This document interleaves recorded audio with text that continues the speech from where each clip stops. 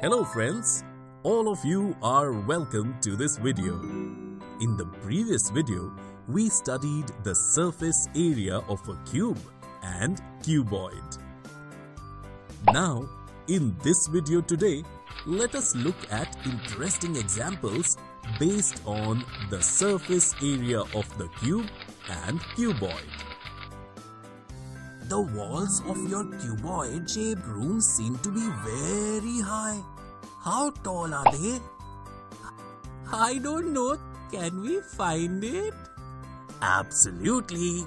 We can find it by using mathematics. It is math time! Let's measure the length and breadth of this room. The length of the room is 12 feet and the breadth is 9 feet. Do you have any more information related to this room? Yes.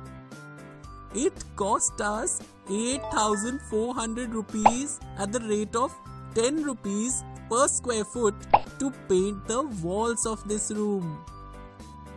The area you painted for 8400 rupees is equal to the total area of these four walls or the lateral surface area of this room. To find the lateral surface area of a room, we only have to divide this cost at the rate per square foot that you paid for the color. Therefore, the lateral surface area of this cubic room is 8400 divided by 10 or 840 square feet.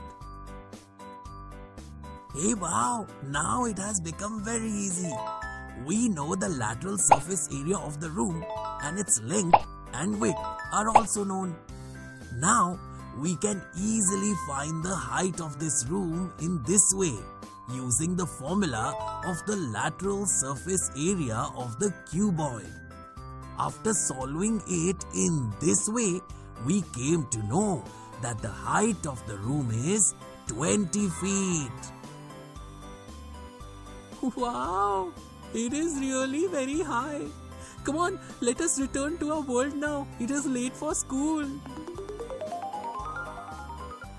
With this example, we have seen how problems in our daily lives can be solved by the surface area of cube and cuboid.